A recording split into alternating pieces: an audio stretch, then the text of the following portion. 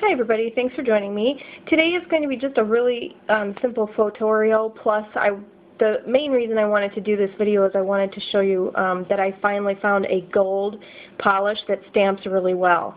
So um, just to start, I'll show you what this design is. Um, I had a, I've been doing challenges on my Facebook page where this this week I was doing one where I wanted you to use two different um, full nail designs in one manicure. So that's what I've done here. We've got a pattern on the ring finger and on the thumb, as, and then a separate one on the rest of the fingers. So the base color that I used for this was this color from Sally Hansen Complete Salon Manicure. It's called First Kiss.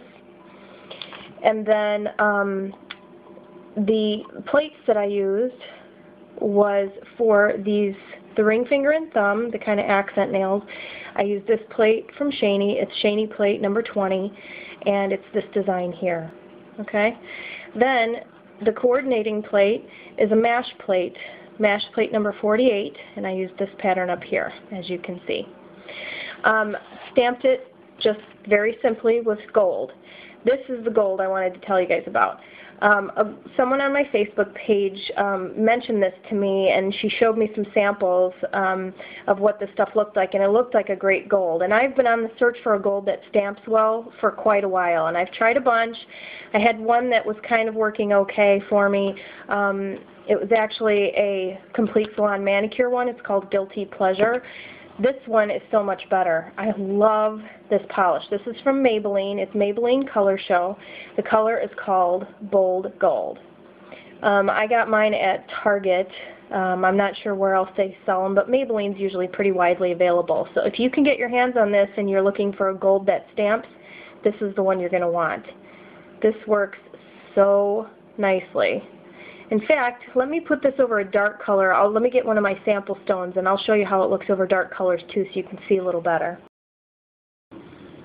Okay, so I've gone ahead and I stamped it over a black and you can see how impressive this gold is. I mean, that is as clear as day. And the fact that it looks good over dark and light colors says a lot. Um, to give you just a quick comparison, I did a, a stone a while back of all the other golds that I have. Um, and where is, this is the one that I have been using up until now. This is the Guilty Pleasure by Sally Hansen. Um, I don't remember these off the top of my, oh this is Kleancolor uh, metallic yellow, but um, you know, I've got some other kind of sparkly golds. But then you compare it to this, this is the gold that I've been looking for. So I highly recommend it. So if you're looking for a gold, this is definitely the way to go. And here it is the color um, just on my nail wheel. So you can see it looks even more gold on the nail than it does even in the bottle. So it's a beautiful gold just even for um, wearing on your nails as the base color. So I just wanted you to see that too.